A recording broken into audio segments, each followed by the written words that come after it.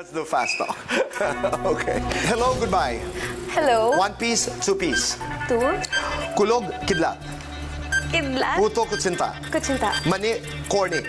Cornix. Flowers, chocolates. Flowers. Yakap, halik. Alec. Saan mo gustong magkabahay?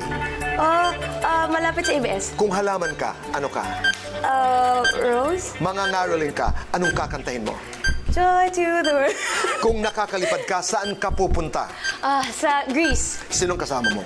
Ah, si Kyle. Oo, hindi. Magkaibigan pa ba kayo ni Catherine Bernardo? Oh. One question you wish people would stop asking you. Ah, ba't wala kang show? Do you miss it?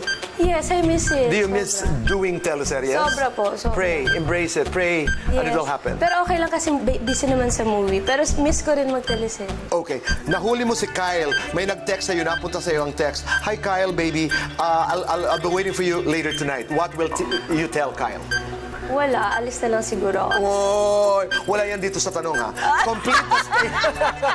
Complete the statement. Ako si Jane Oineza at ako ay... Ako ay palaban. Oh! Maraming salamat, Jane. Thank Merry you, Tito Christmas. Boy. Tonight